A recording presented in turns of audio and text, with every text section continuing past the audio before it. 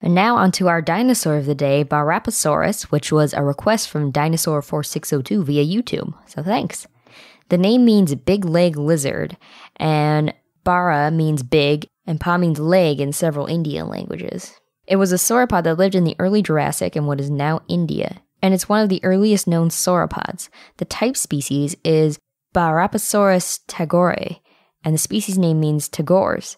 The first excavation of Barapasaurus was in the 100th anniversary year of the birth of Rabindranath Tagore, a famous Bengali poet and artist, and the species name is in honor of him.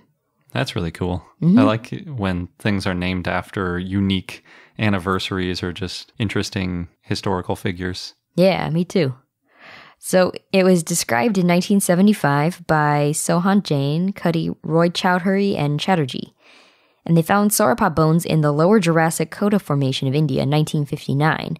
They excavated 300 bones in 1961 to 62, and they found a lot. Yeah, it is.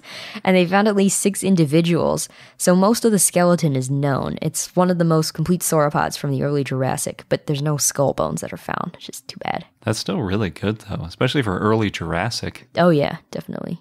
But those missing skull bones, that's how you get Brontosaurus issues. Yeah, that's true. So, because there are at least six specimens that died together, they may have been part of a herd that died from a flood. And then the flood may have moved their bodies, and then when they decomposed, the bones may have disarticulated, and a water stream might have moved the skull bones. When it was described, Barapasaurus was not assigned to a specific sauropod group.